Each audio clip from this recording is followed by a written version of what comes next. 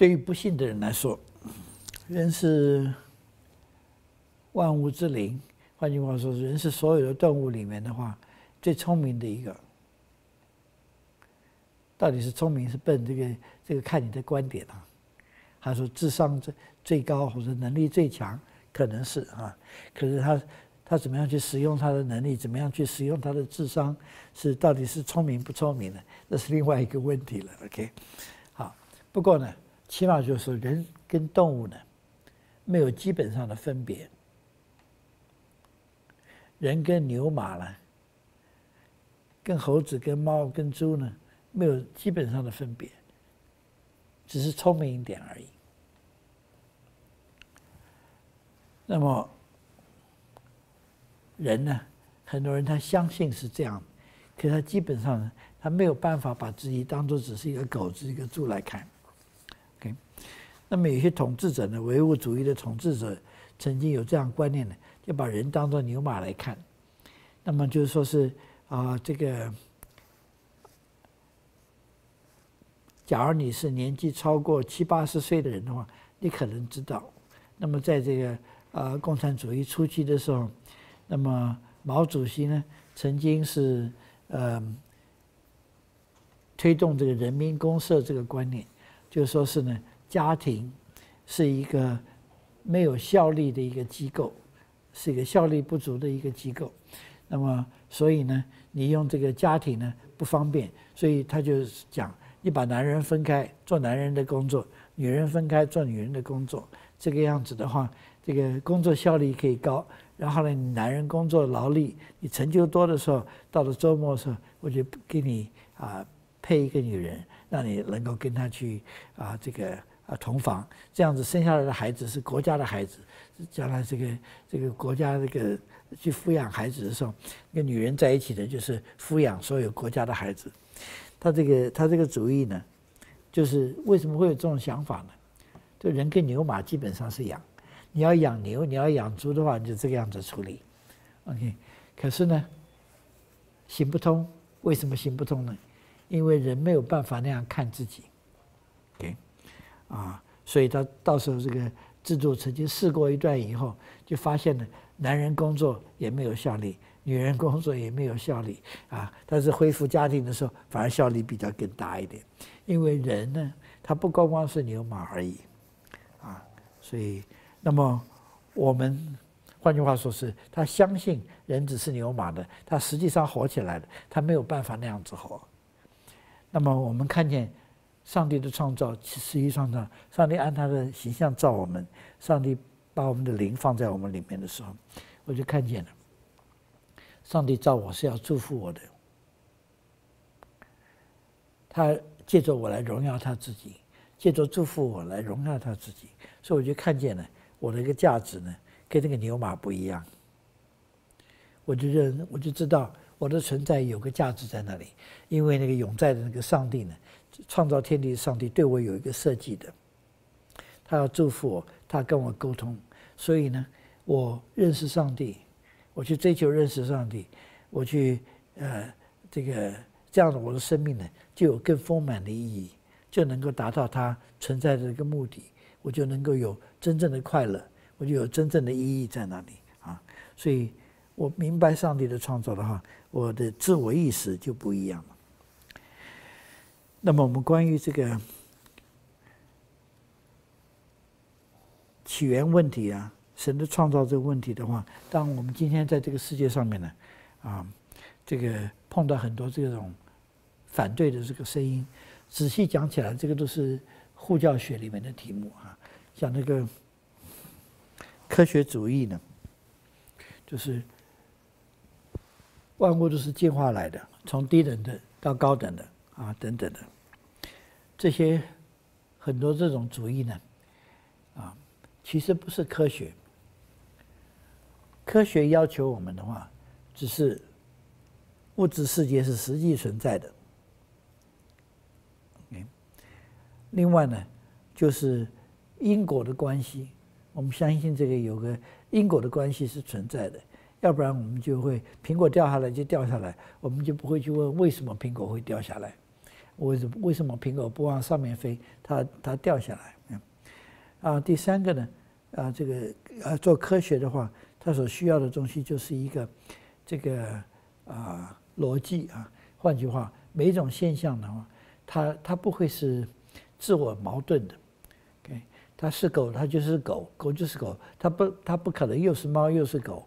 OK，那么那样子的话就变成矛盾了，它不能够同时是，它又不是，它又是，它又不是啊。这这这这这个，你假如是这样相信的话，你就不能去做科学。那科学不能，换句话，理哲学里面常常有人在这个地方打这种意念的哈，就是中国人讲，呃，我是蝴蝶，呃，还是我是我，我是一个梦啊，我还是实际，我怎么知道？我不知道。那么这种样子的这种思想里面，它也不可能产生科学的。那么，所以这个科学只只需要这三个基本假设，他就可以去做科学了。可什么叫做科学主义呢？科学主义就是说，除了物质世界以外，其他都不存在。其他都不存在。换句话说，零不存在。零不存在的话，上帝也不存在。那么这个不是科学所需要的一个假设。做科学不需要这个假设。可是呢，是一种哲学的人，一种哲学就是唯物论、无神论的这种哲学呢，他打了这个科学的这个记号，打了科学的这个旗号，他号称是科学，可是不是科学所必须的东西，它是一个哲学思想。所以，一个哲学思想跟宗教思想这个作对呢，它好像我们科学你不科学，这完全是一个呃这个这个骗人的把戏哈。我们我们要搞清楚，不是科学跟信仰抵触是哲学啊，是唯物论的这个哲学跟科学抵触。那么讲到起源问题的话，也是啊，进化论常常讲，是呃东西从简单的变成不简单的啊，这个这个，然后呢，就是突然呃因的这个变变异，从低等的变成高等的等等的，OK。当这个东西证据的话是另外一回事情，我们不详细讲这些东西。这东西是呼叫学的问题。可是呢，第一个生命体，第一个第一个细胞，第一个单细胞动物从哪里来的？不管是单细胞植物、单细胞动物是怎么来的，没有解释的，只是假设。因为呢，任何一个单细胞动物，你仔细去查考的话，它都是非常复杂的。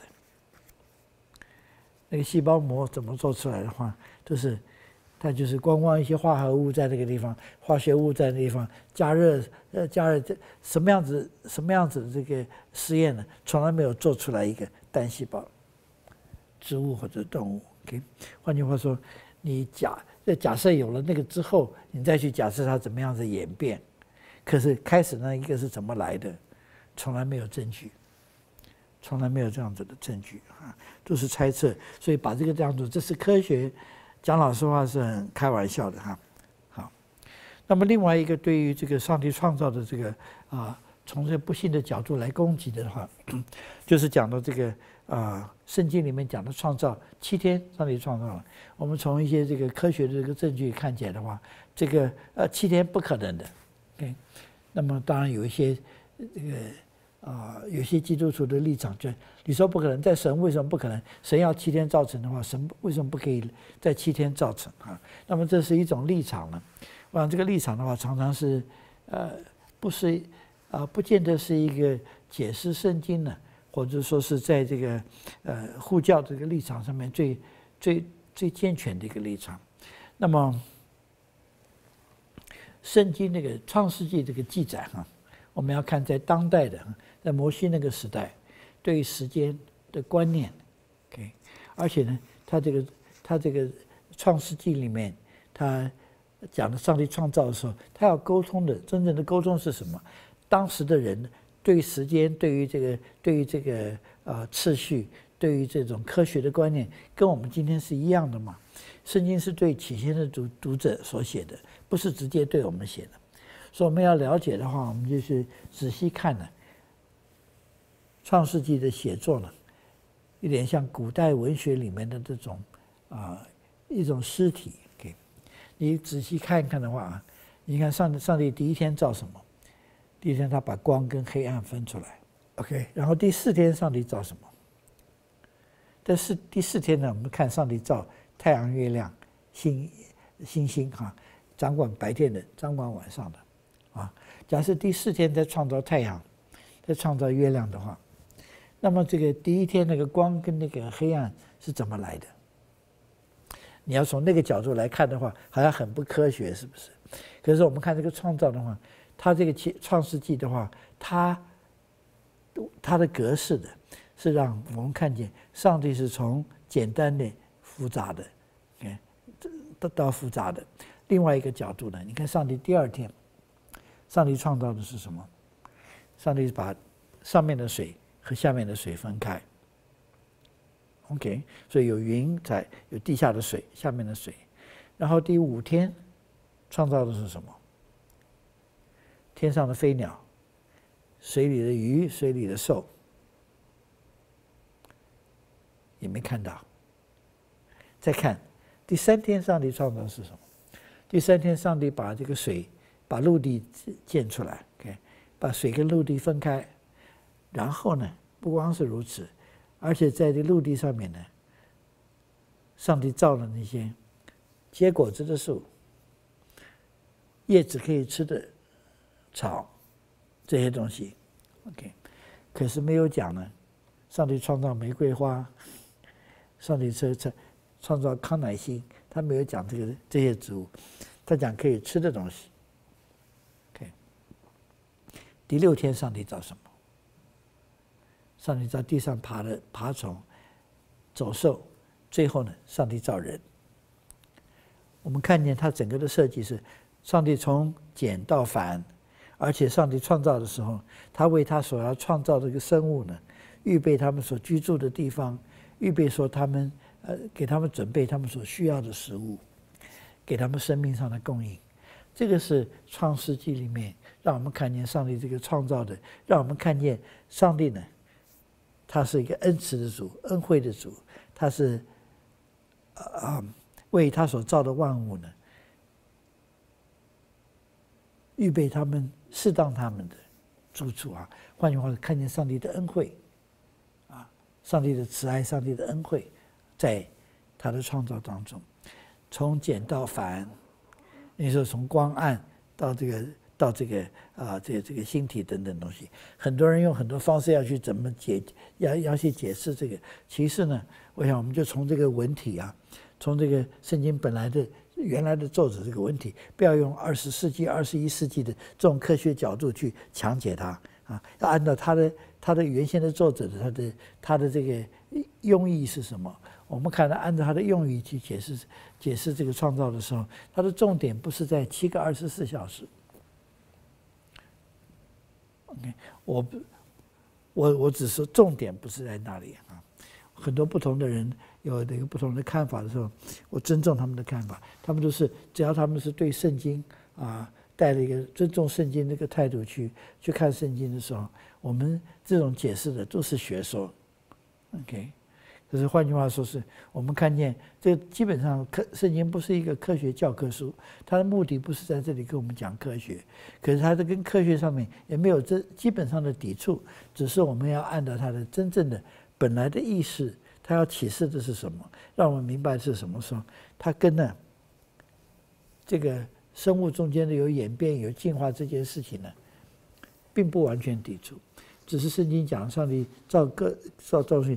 各从其类，圣经也讲各从其类，所以我们对圣经除了说是，啊这种，啊今天进化论里面讲一个叫 micro 进化，一个是 macro，OK，macro 就是说是从单细胞动物一直到这个人类是继续不断的演变的啊，这样这这样上来的，那么啊从不同类的到不同类的这样子的，嗯，我想今天一方面呢，这样子学说的话也缺缺缺少证据啊。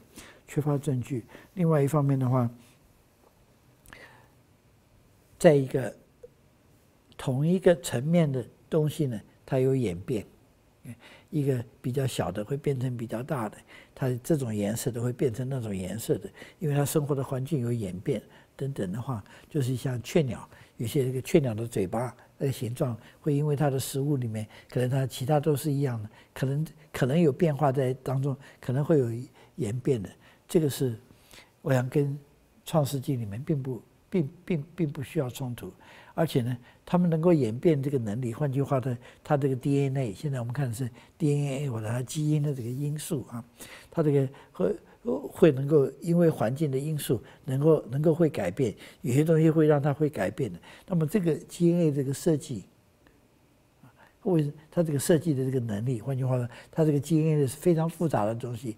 这个设计它能够有变化的这种能力，包含在它这个 DNA 里面的话，这是因为在上帝的设计里面，从这个创造里面，对，所以这个这些东西跟创造呢都没有真正的抵触在那里，没有需要抵触的在那里。所以我们看见了，圣经告诉我们上帝的创造。我们对这个，呃，对这个上帝所创造这个世界啊，我们不是采的有色眼光，一定要把上帝摆在外面这种样子一个偏见在里面的话，我们仔细看，我们可以看见上帝创造里面的荣耀。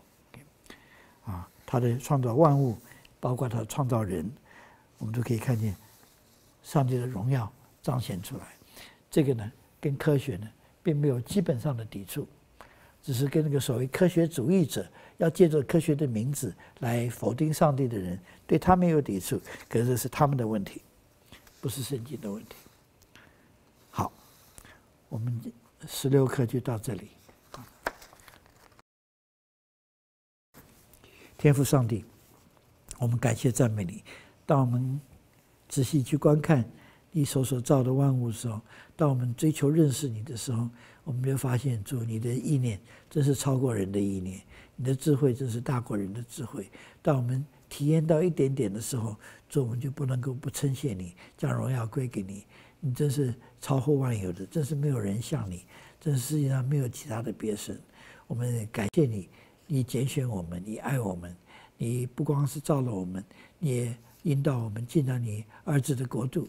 啊，在你永恒的啊这个呃，在你的永恒当中享受你啊，能够与你沟通啊，享受你的生命说，谢谢你给我们这一些的恩典，本来都是我们不配的，你在你儿子耶稣基督里面为我们成就了这样的救恩，谢谢你，求你帮助我们继续不断承认感恩赞美的心来追求认识你，奉耶稣基督的名，阿门。